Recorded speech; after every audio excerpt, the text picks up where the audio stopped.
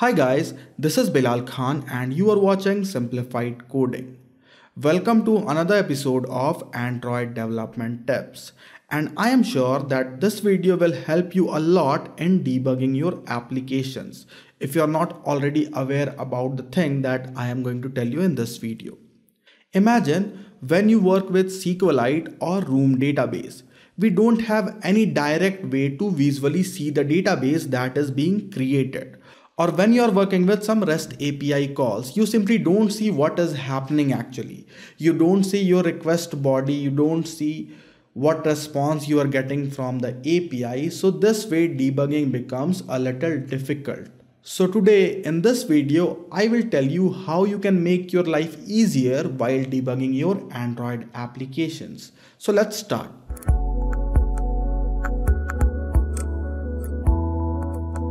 So I was talking about Facebook Stetho library and it helps us in debugging our applications. So let's see how we can use it. So I have downloaded my own project that is the Android MVVM application and here I added the Facebook Stetho library.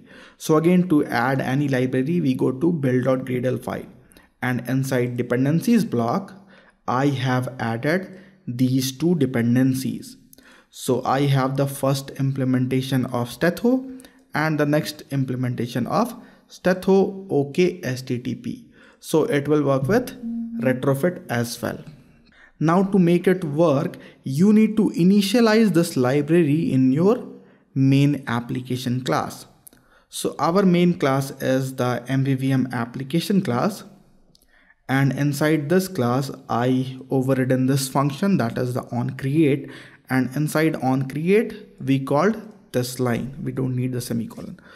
So we called stetho then initialize with defaults and we pass the context. So stetho is initialized. Now if you want to debug your network calls as well you need to add a network interceptor in your retrofit instance so let's see how we can do this thing as well. So we need to go inside our api interface that is inside the network package and we have my api interface. Now what i did is i added one more interceptor and this time it is a network interceptor. So we call the function in our ok http client.builder and we called this function that is add network interceptor. And here we are passing stetho interceptor. Now this way we can debug or see all the network calls that are happening in our application. So let's see how we can debug it. So first run the application. So this is our application. Now we want to debug it. So we will open google chrome and here we will go to the address that is chrome then colon then double forward slash and inspect. We need to open this address. When you open it you will see your device. So you can see we have the android sdk build for x86 here. Now from here we can inspect our application. So click here and it will open a new window and from here you can inspect the network calls.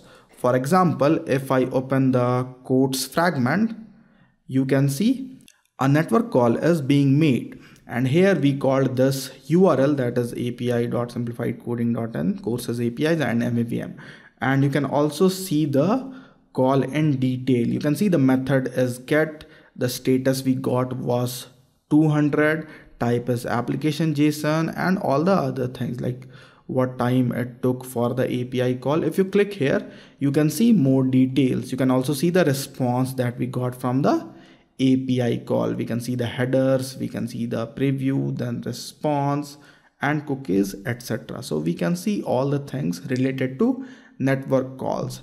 And one more very useful thing we have here is we have this resource tab and here we can see our local storage and we can also see our local database so in my current application i have created this database that was my database.db and here we can see all the tables and we can see visually all the tables, the table structure and all the informations that we have inside our table. And the best thing is we can also test our SQL queries in our database. For example, if we want to execute select star from quote, then we can do this thing as well. You can see we can see our database that we got from this query. So it helps a lot in debugging. So that is all for this video friends. I hope you found this video helpful and if you did then please hit on that like button, subscribe to my channel and share this video with your friends. In case you have any problem or question, you can leave your comments below. Thanks for watching everyone. This is Belal Khan now signing off.